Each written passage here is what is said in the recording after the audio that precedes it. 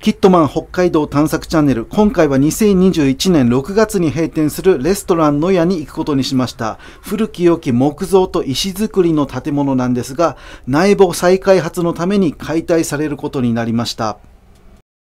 お店は同じ東区に移転するんですが、この建物自体は解体となります。メニュー表ですね。最後に私はですね、コーヒーを飲むことにしました。よくね、鉄道を見に行くときに内部駅から近いのでよく寄っていました。ライブなんかも行われていました。コーヒーですね。このカップもね、またおしゃれですよね。で、こうやって背景も入れるとね、マッチしてるんですよね。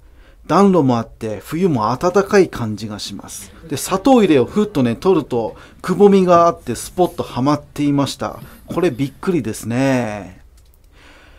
なかなかこの木造と石造りの建物が新たにできるっていうことはないので減る一方なんですよね。なので貴重な古き良き石造りそして木造の建物なんですよ。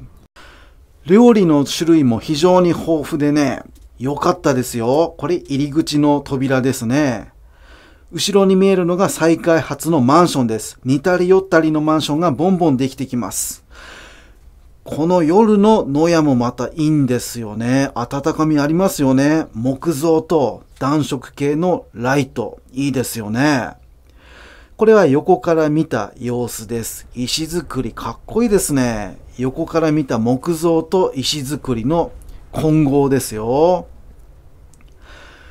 で、この周辺にも石造りの建物や古民家もあるんですが、これらも解体されるんでしょうかね。内部の再開発、注目ですよね。6月20日まで野屋はやっております。ありがとうございました。